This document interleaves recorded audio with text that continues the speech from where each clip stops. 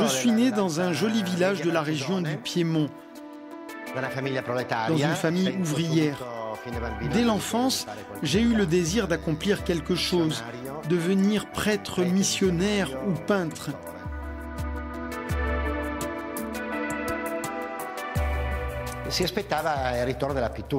Dès ma première expo, les gens ont su qu'un jeune peintre exposait.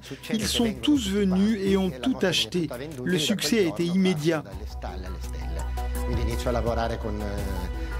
Très vite, j'ai exposé à Turin, à Milan, puis j'ai été repéré par le plus grand collectionneur italien, Carlo Manzino, qui a acheté 80 toiles en deux ans.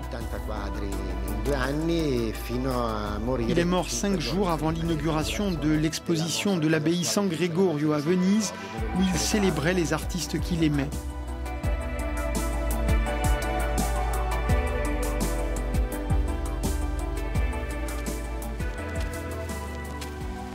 Daniele Galliano vit et travaille à Turin. Le réalisme photographique caractérise son travail qui explore les thèmes de la diversité du monde, la marginalité, le corps, la sexualité, l'isolement ou la foule, jouant sans cesse avec la précision des détails et les vues en perspective.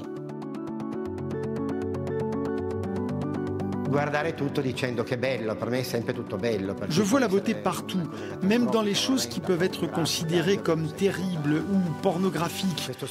Je vois toujours cette splendeur des gens qui sont issus d'une matrice divine, parce que pour moi, tout ce qui relève de l'aventure humaine sur la Terre est beau et mérite d'être raconté, parce que c'est le fruit d'une sorte de mécanique divine cosmique.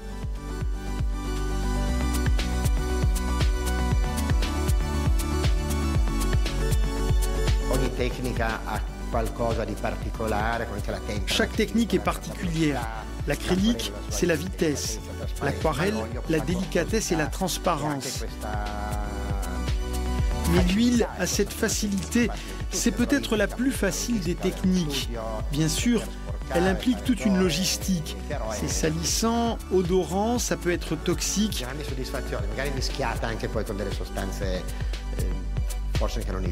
Mais c'est une technique qui me donne beaucoup de satisfaction. Daniele Galliano est né en 1961.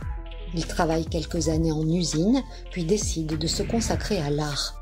Parfaitement autodidacte, il étudie les grands maîtres de la peinture, explore le cinéma, la photographie, la bande dessinée, la littérature et la musique. Au début des années 90, son talent est largement reconnu et les expositions personnelles et collectives s'enchaînent dans le monde entier. Ses œuvres s'affichent dans de prestigieuses collections publiques et privées. Il multiplie aussi les collaborations avec des musiciens, des réalisateurs et des écrivains.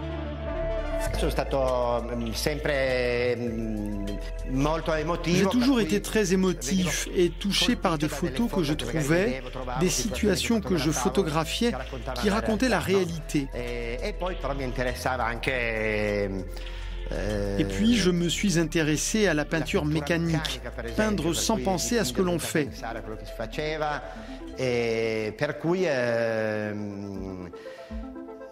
J'ai fait ce travail de schizophrène en revendiquant la schizophrénie comme une qualité, parce qu'on est plus riche en vivant plusieurs vies. C'est pour ça que j'ai toujours fait des choses différentes en parallèle. Par exemple, au milieu des années 80, je faisais des toiles qui étaient le fruit de mon imagination. E je me mettais devant la toile et je voyais ce qui en sortait. C'était des choses terrifiantes, inquiétantes, sombres. Eh, e Parallèlement, je peignais des scènes de la vie ordinaire et j'ai eu à choisir entre les deux versions. E eh, in relazione a questa prima mostra che faccio molto fortunata, mi trovo a dover scegliere tra le due.